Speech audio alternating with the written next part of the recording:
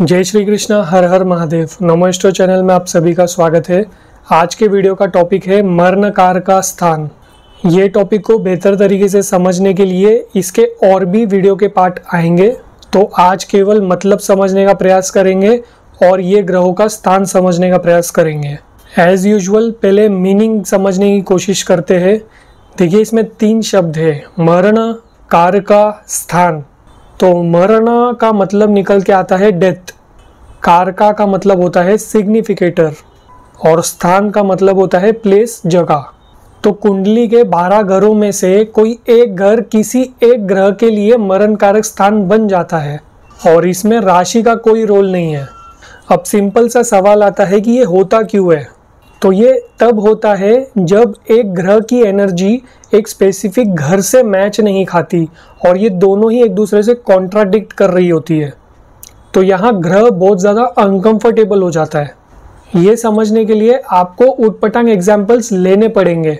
Example किसी doctor को, किसी प्रेस्टिजियस डॉक्टर को आप बोलो सर्कस में छलांग लगाओ, ज़बरदस्ती, या किसी शान और शौकत व्यक्ति को भिखारी के साथ खड़े कर दो। याद रखो, ज़बरदस्ती। तो ये लोग अनकंफर्टेबल हो जाएँगे। कैसे भी करके ये सिचुएशन से निकलना पसंद करेंगे ये लोग। अब अगर मेरे ऑब्जर्वेशन से मैं बात करूँ तो कुछ ग्रहों के लिए मैंने ये समझा है कि मरण कारक स्थान बहुत ही ज़्यादा क्रिटिकल पाए गए हैं। कितना क्रिटिकल वो आप उदाहरण के तौर पे समझ सकते हैं कि किसी व्यक्ति को पानी पसंद नहीं और ना ही उसे स्विमिंग आती है। फिर भी उसे ज़बरदस्ती पानी में ढकेल दिया गया और कहा गया, बच सके तो स्विमिंग कर और बच जा। ऐसी क्रिटिकल कंडीशन मैंने देखी है Saturn in first house moon in eighth house बहुत ज़्यादा क्रिटिकल होता है, मैंने मोस्ट ऑफ़ द टाइम देखा है। उसके बाद देखिए सेवेंथ हाउस का मार्स ये भी थोड़ा क्रिटिकल है। उसके अलावा देखिए सभी ग्रह मरण कारक स्थान में तो पहुँचते हैं, मगर बाकी ग्रहों पे मैंने उतना प्रभाव नहीं देखा। होगा ज़रूर बट उनके एस्पेक्ट्स बहुत लिमिटेड है। मैं ये नहीं कह रहा हूँ कि बाकी ग्रहों पे काम ही नहीं करेगा। मैं ये कह रहा हूँ कि इन ग्रहों पे बहुत ज़्यादा काम करेगा। तो अब हम मरण कारक स्थान को समझ सकते हैं कि ग्रह की अवस्था कैसी हो रही है, मरने योग्य। अब कोई भी व्यक्ति डाइंग सिचुएशन में सिर्फ़ एक ही चीज़ एक्सपेक्ट करता है कि कोई आए और मुझे बचा ले, क्योंकि वो खुद ओवरकम नहीं कर पा रहा इस सिचुएशन को।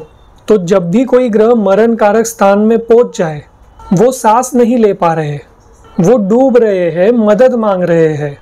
मदद ना मिली तो संभावना है कि वो ख़त्म हो जाएँगे। अब ये सिचुएशन इतनी आसान नहीं है कि किसी और ग्रह ने उन्हें मदद दे दी और सब ठीक हो गया। अगर बचाने वाला ग्रह या कोई भी ग्रह एम के एस प्लैनेट के साथ योग बना ले तो वो ग्रह का स्ट्रांग होना बहुत ज़रूरी है, वरना एम के एस प्लैनेट ये हेल्पिंग प्लैनेट को भी ले डूबेगा। तो आप समझिएगा एम के एस प्लैनेट कहूँगा, उसका मतलब होता है ग्रह जो मरण कारक स्थान में हो। और इसी सिचुएशन को हम मरण करण स्थान भी कहते हैं, क्योंकि ग्रह तो उस स्थान में पहुँच गया है। घर से अगर हेल्प ना मिले, फिर भी उन्हें तो परफॉर्म करना होगा ना एक्टिविटीज़ को। तो एक साइड तो कारक मर रहे हैं और दूसरी साइड ग्रह को ज़बरदस्ती करना पड़ रहा है कुछ। और अभी हमने जैसे बात की कि कोई हेल्पिंग प्लानिट एम के साथ योग बना ले तो देर इज़ अ चांस कि वो प्लानिट भी ड्रेन आउट हो जाए। तो जैसे जैसे हम स्टडी करेंगे, आगे आगे हमें पता चलेगा कि काफ़ी बार काफ़ी सिचुएशंस ऐसे होते हैं जहाँ एक प्लानिट पावरफुल भी है, अच्छे पोजीशन में भी है, फिर भी उसी से रिलेटेड प्रॉब्लम नज़र आ रही है। और एनालाइज करने पे ये पता चलता है कि उन्होंने किसी ऐसे प्लानिट के साथ योग बना रखा है, या कोई ऐसे ग्रह का कोई ऐसा योग बना रखा है कुंडली में, जिसके वजह से ये अच्छा प्लानिट अपने रिज़ल्ट नहीं दे पा रहा, या वो शुभ की जगह अशुभ परिणाम दे रहा है। तो ये बिल्कुल होता है, एक स्ट्रॉन्ग एग्जॉल्टेड एक बहुत अच्छी तरीके से बैठा हुआ प्लानिट उसी ने प्रॉब्लम दे दी हो। ऐसा चांसेस कभी कभी संभव है। क्यों? क्योंकि उसे कोई और प्लानिट की वजह से खराब होना पड़ता है कुंडली में। तो ये एक लाइन में आप समझ सकते हैं कि योग कितना इंपॉर्टेंट चीज़ है ज्योतिष में। और आज के टॉपिक पे बात करें तो ये चीज़ निकल के आती है कि अगर कोई अच्छे ग्रह ने योग बनाया एम के एस के साथ, या कोई strong planet M K S को मदद दे सके। एग्ज़ाम्पल कोई योग कारक ग्रह एग्जॉल्टेड बैठा हो, अच्छे घरों में बैठा हो और वो किसी मरण कारण स्थान के प्लानिट पे अपना प्रभाव डाले तो यहाँ सिचुएशन में राहत मिलने वाली है। हो सकता है इनिशियल स्टेज में ट्रबल्स होंगे, मगर वो रिकवर भी हो जाएँगे। अब यहाँ एक और इंटरेस्टिंग चीज़ मैं आपसे शेयर करना चाहूँगा। देखिए, डूबते हुए व्यक्ति को क्या चाहिए? उसे चाहिए ऑक्सीजन उसे चाहिए डिवाइन मदद। उसे रास्ता चाहिए कि इस सिचुएशन से मैं बाहर कैसे आ सकूँ? अब आप विचार करिए, ये सब कौन सा ग्रह सिग्निफाई करता है? डिवाइन ब्लेसिंग ऑक्सीजन कौन सा ग्रह आपको अंधकार से प्रकाश की ओर ले जाता है? गुरु ग्रह जुपिटर इज़ अ प्लानिट जो कोई भी मरण कारक स्थान में बैठा ग्रह हो, उसे अगर एक्सपेक्ट कर दे तो रिकवरी के चांस बहुत हाई हो जाते हैं। हमने डिस्कस किया था, सभी ग्रहों को भगवान शिव ने ड्यूटी पे लगाया है। तो भगवान शिव कह रहे हैं कि आप सभी जीव के उद्धार के लिए हो। और कारक तत्व में हमने जाना, बृहस्पति महाराज ऑक्सीजन को रिप्रेजेंट कर रहे हैं डिवाइन ब्लेसिंग को रिप्रेजेंट कर रहे हैं। तो यहाँ एक चीज़ साफ़ निकल के आती है कि अगर मरण कारक स्थान में बैठे हुए ग्रह पे गुरु ग्रह की पॉजिटिव दृष्टि आ जाए तो ये ग्रह डेफिनेटली रिकवर कर लेगा।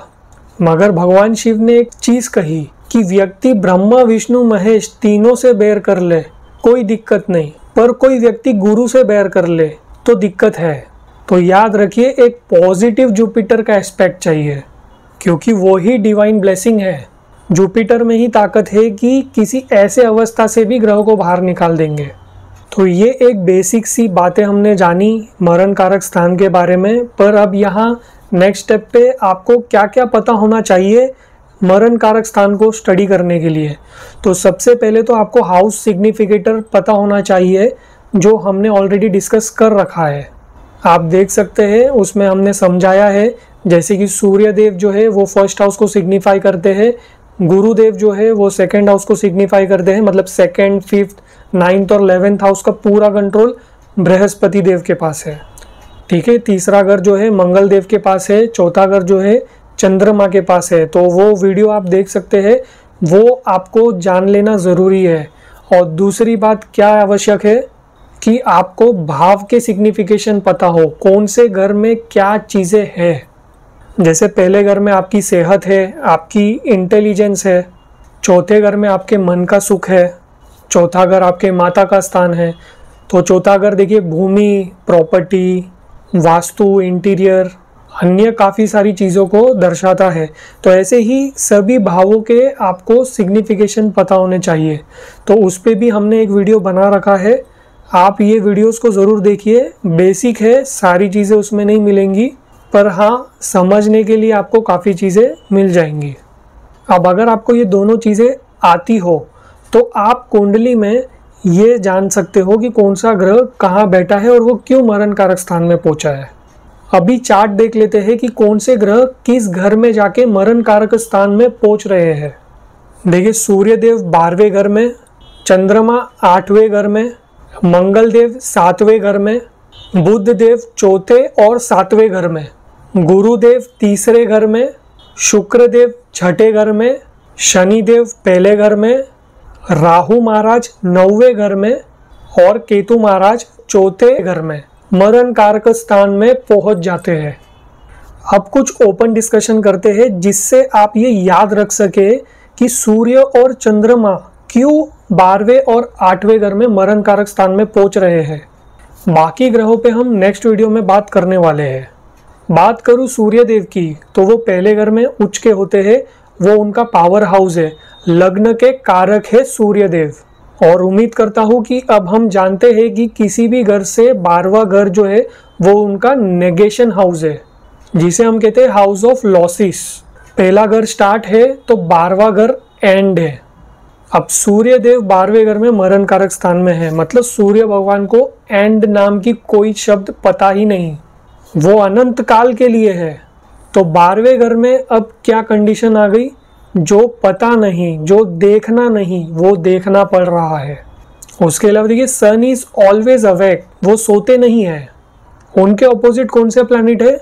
सैटर्न जो कि अंधकार को रिप्रेजेंट करते हैं, नींद को रिप्रेजेंट करते हैं, आलस्य, सोना most inactive Vedic planet on its own orbit Shani Dev अपने ही ऑर्बिट में इतने स्लो चलते हैं कि पता ही नहीं चलता कि वो चल भी रहे या नहीं। और सन की बात करें तो देखिए 24/7 रोशनी दे रहे हैं सृष्टि को। तो वो एक बहुत ही हाईली एक्टिव प्लैनेट है, बहुत ही अवेक रूप में आपको नज़र आते हैं। अब ये कॉन्फ्लिक्ट जो है, ये बारहवें घर में सूर्य देव को मरण कारक स्थान में पहुँचा रहा है। वही चार्ट में हमने देखा शनि देव पहले घर में मरण कारक स्थान में पहुँच जाते हैं। तो पहला घर क्या है? Highly active start of everything वो पावर हाउस है, वो सोर्स है। शनिदेव हाईली इनएक्टिव प्लैनेट है, वो वहाँ जाके अनकंफर्टेबल हो जाते हैं। उनकी अवस्था कुछ ऐसी होती है कि उन्हें समझ नहीं आ रहा कि पूरी कुंडली को कंट्रोल या ऑपरेट कैसे करूँ। वो घर उनके नेचर के एकदम परे है।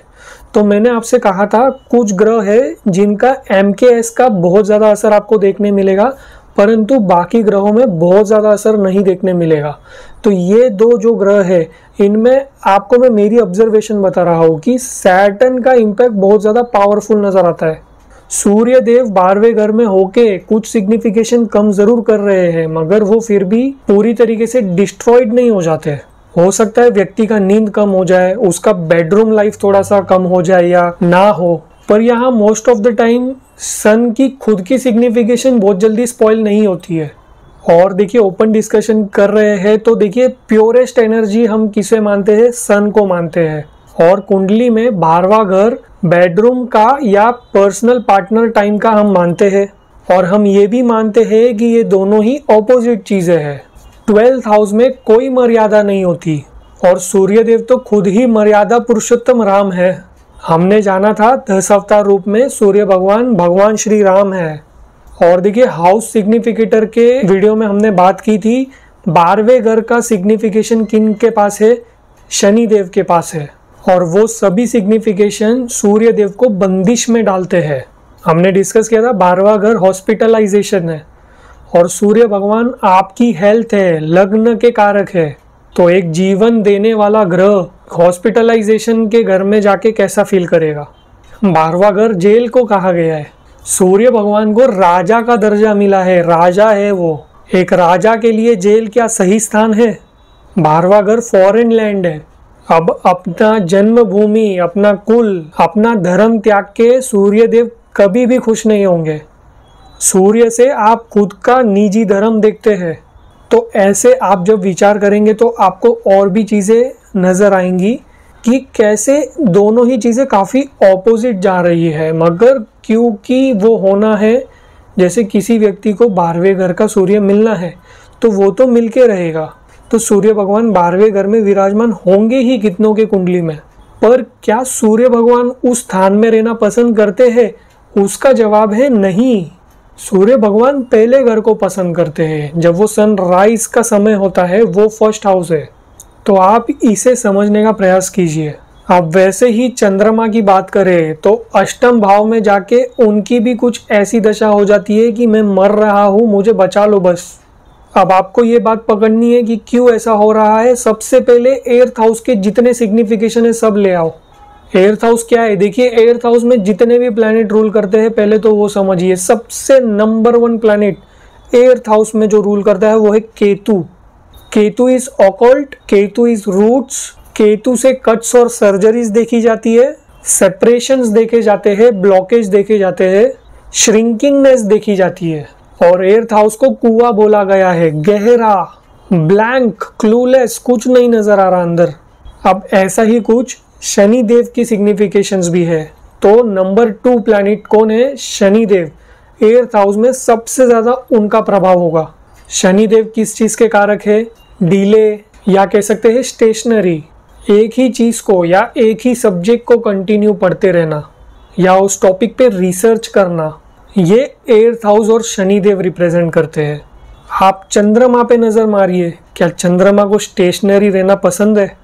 ना चंद्रमा रुक सकते हैं, ना चंद्रमा को डीले पसंद है। और ऑब्वियसली चंद्रमा को ना ही दुख दर्द पसंद है। ऐसा कुछ पसंद नहीं जो शनिदेव और एर्थ हाउस रिप्रेजेंट कर रहे हैं। अब नंबर थ्री प्लानिट जो एर्थ हाउस में अपना प्रभाव छोड़ जाते हैं, वो है मंगल देव मार्स एक रफ एंड टफ एनर्जी है। चंद्रमा एक सॉफ्ट प्लानिट है, माँ की ममता है वो। उनको रफ एंड टफ जो नेचर है, वो नहीं बहाता। और लास्ट में देखिए, सबसे ज़्यादा सिग्निफिकेशन कौन दिखाता है एर्थ हाउस में? इन तीनों ग्रह के बाद भी एक ग्रह है जिनका सिग्निफिकेशन आपको मिलता है, वो है राहु महाराज। राहु महाराज क्या सिग्निफाई करते हैं? सीक्रेट चीज़ है।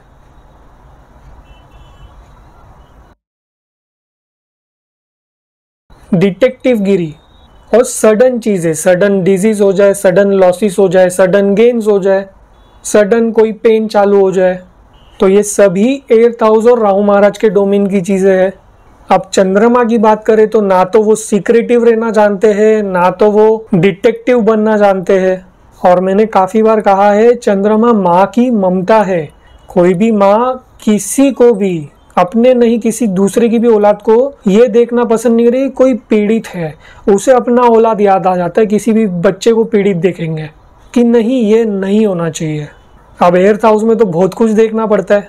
और आप एक विचार कीजिए, देखिए एर्थ हाउस में जितने भी प्लानिट के सिग्निफिकेशन आ रहे हैं, वो सभी मैलिफिक है।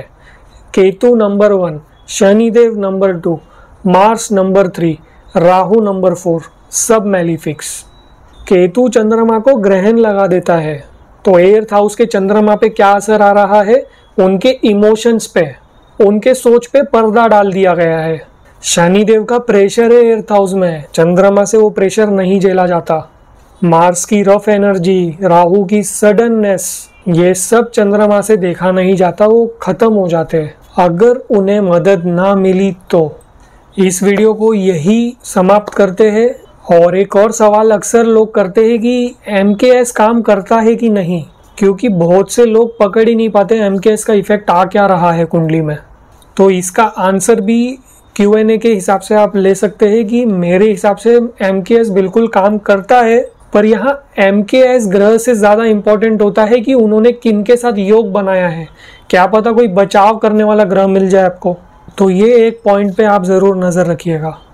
आगे की वीडियो में बाकी ग्रहों को कवर करेंगे ताकि इस टॉपिक को और बेहतर तरीके से हम समझ पाए। अगर आपको ये वीडियो पसंद आया हो तो इसे लाइक और शेयर करना ना भूलिएगा। सब्सक्राइब कीजिए आपके अपने नमो स्टो चैनल को ताकि आने वाले वीडियो आप तक सही समय से पहुँच सके। अलविदा लेता हूँ। जय श्री कृष्ण। हर हर महादेव।